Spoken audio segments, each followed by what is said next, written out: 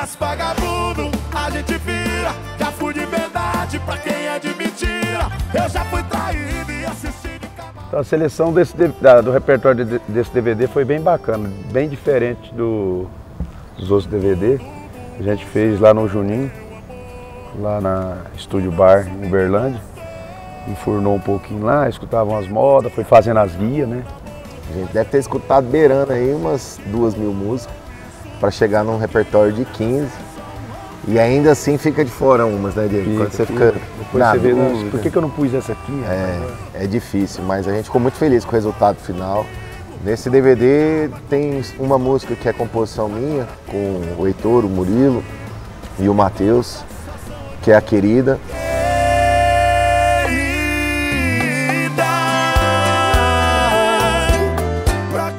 E as outras a gente pegou da galera, né, Diego? Da turma, turma muito boa. Desde quando a gente começou, uma evolução, mas sem perder a essência. Portanto que o, o DVD chama Essência.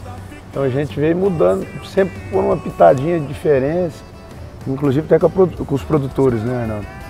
É, esse último DVD eu acho que é, não mudou muita coisa dos outros, não. Sempre tem a essência do Diego e Arnaldo mesmo.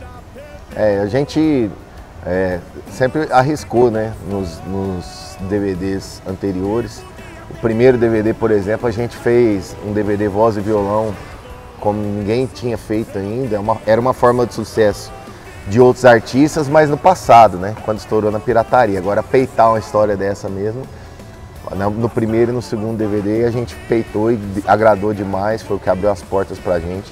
A gente buscou a essência mais sertaneja do Diego Arnaldo mesmo, né? Aquele, aquele modão mais, mais chorado, daquele cara que o cara vai chorar, dá tapa na mesa. A gente partiu mais para essa linha nesse DVD. Então, o- a característica principal do Essência é isso, é, é buscar o sertanejão que corre na veia do Diego Arnaldo. É, eu bati na tecla um pouquinho que eu tinha vontade de gravar um esquema com maior, com um cenário maior, o pé direito alto, uma coisa do outro mundo, na minha cabeça, né? E aí, na realidade, foi surpreendido, porque eu gostei pra caramba aqui do Laguna. Eles chegaram com, com a ideia, o escritório nosso mostrou o local, chegou com a ideia. Então foi no Laguna, mas foi na, na intenção de gravar com o pé direito alto. Era para ser em- aberto, né? Local aberto. Só que aí, na época de chuva, tinha chuva, então a gente fez aqui no Laguna mesmo. É, As participações a gente escolheu a dedo, né? São artistas que a gente tem relacionamento é, tanto de amizade como de admiração. A turma que a gente convive mesmo. O Bruno e Marrone, por exemplo, quando a gente convidou, eles aceitaram na hora e para nós foi uma, uma honra muito grande, porque é uma referência de vida pra gente, né?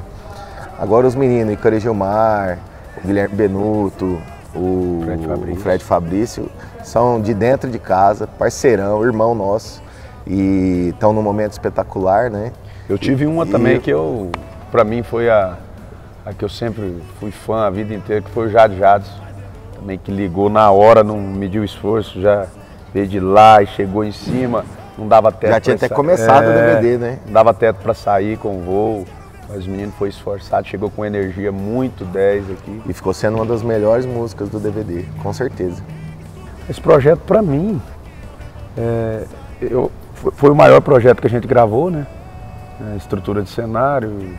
Então acho que estava faltando ainda um projeto desse tamanho no Diego Arnaldo. Acredito muito nele, que vai ser uma mudança de estágio na nossa carreira.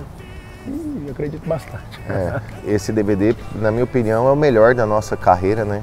É, a gente trabalhou muito dedicado, foi o DVD que a gente mais trabalhou juntos para poder fazer acontecer. O resultado foi surpreendente, é, a turma comprou a ideia, desde o escritório, os compositores, o Juninho Melo, os fãs que compareceram no dia da gravação, o repertório ficou incrível e é uma promessa de Deus na nossa vida que com certeza vai quebrar as correntes. Nos DVDs anteriores a gente mesclava muito o sertanejo com alguns outros ritmos, né? Nesse daí a gente quis resgatar a essência dos primeiros DVDs, que era só música sertaneja de verdade mesmo. É, A única música que não é sertaneja de verdade é uma música que tem uma pitada de eletrônica, mas por causa da relógio, relógio parado, parado, se tornou uma essência do Diego e Arnaldo também. Então nesse DVD, esse nome veio justamente para buscar aquilo que os nossos fãs consomem desde o começo da carreira, da nossa essência. No dia da gravação foi, foi como todo DVD, sempre é tenso, né? O artista foi chuva, caiu um dilúvio. Inundou isso aqui tudo. Tudo que você vê aqui atrás da gente inundou. Era para gente ter chegado aqui 5 horas da tarde para começar a gravar às 8. Eu lembro que eu recebi a ligação, falou, Arnaldo, espera aí, porque o trem tá feio aqui, bastante, tá Mas Deus foi maravilhoso que choveu só para refrescar. Parou em é. cima da hora, na hora que tinha que parar mesmo. Outro perrengue também foi a cobertura, né? Essa cobertura aqui, ela, ela tava instalando ela.